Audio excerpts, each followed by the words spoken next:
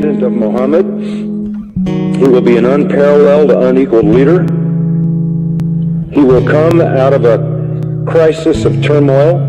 He will take control of the world. He will establish a new world order. He will destroy all who resist him. He will invade many nations. He will make a seven-year peace treaty with the Jews. He will conquer Israel and massacre the Jews. He will establish Islamic world headquarters at Jerusalem. He will rule for seven years, establish Islam as the only religion. He will come on a white horse with supernatural power. He will be loved by all people on earth. So Jesus will return. Yes, Muslims believe that Jesus will come again. They believe in the return of Jesus. Not the true Jesus. The Jesus of Islam, not God, didn't die, didn't rise, didn't provide a sacrifice for sin, but he does return. He's a prophet. And he comes back and he has one purpose when he comes back, and that is to assist and aid the Mahdi. He returns, listen to this, as a radical Muslim. He comes back as a radical Muslim. He will arrive, by the way, at a minaret near Damascus. And he will come back holding the wings of two angels who flew him down to meet the gathering army of the Mahdi in the east, the army of the black flag.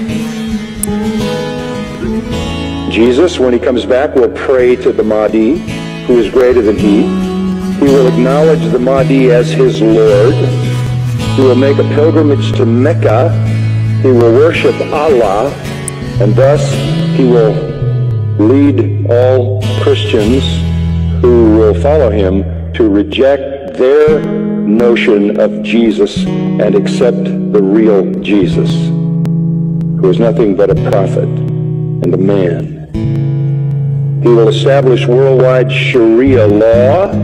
He will become the greatest Muslim evangelist, and he will be the final witness on the day of judgment against non-Muslims. Christians everywhere will affirm that they were wrong, that the gospel is wrong, the New Testament is wrong, he didn't die. He didn't rise. He isn't God. He isn't the Son of God. He himself will come back and point out how wrong we've been. He will correct all misinterpretations and all misrepresentations. Let me quote what their literature says. He will shatter crosses. That's metaphoric for the destruction of the church. Symbol of Christianity being placed in the church. He will kill pigs he will abolish the tax on non-Muslims because there won't be any living non-Muslims. Can't tax dead people. And then he will do one more thing. He will kill the Islamic Antichrist. He will kill the Islamic Antichrist. Then he will die and be buried by Muhammad, but not until he has destroyed Christianity by revealing who he really is. One of their writings says he espouses the cause of the Mahdi. He is the Mahdi's executioner. He is the Mahdi's enforcer. He is the Mahdi's prophet. And it is he who kills the Antichrist. That leads me to the third person. The Antichrist will show up. The Muslims call him Dajjal. He is the great deceiver. He comes to earth on a mule. And he's blind in one eye. He is an infidel. He is a false miracle worker this Antichrist, this Islamic Antichrist. Do you know who he claims to be? He claims to be Jesus, the Son of God. He claims to be a deity. He will attempt to stop the Mahdi and the true Jesus, but the true Jesus will slaughter him.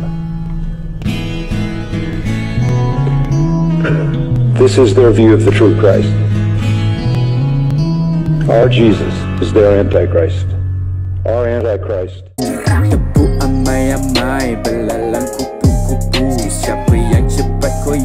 Dia yang kita sapu.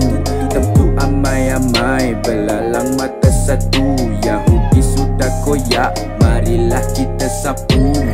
Kau cuba mengubah normal. Kau tanpa fizikal Kau virus tanpa ritual Yang menghantui dan mengganggu mental.